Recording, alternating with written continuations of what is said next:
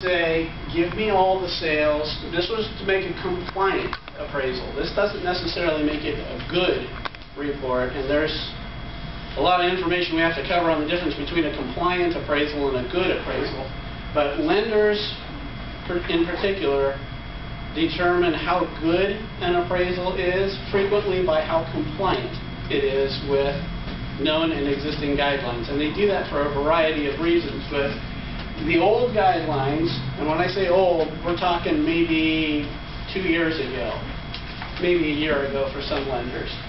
They say you can go back six months in time and you can go a mile from the property. So a lot of times people want to know how far can you go for a comparable sale or how far back in time can you go for a comparable sale?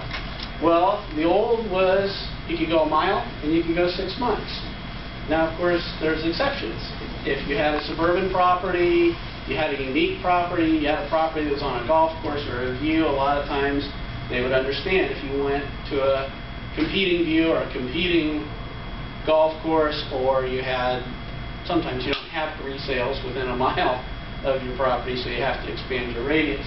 But under general, if you're doing one in town, normal guidelines, they'd say, give me all the properties within a mile and six months. Well, as you can see,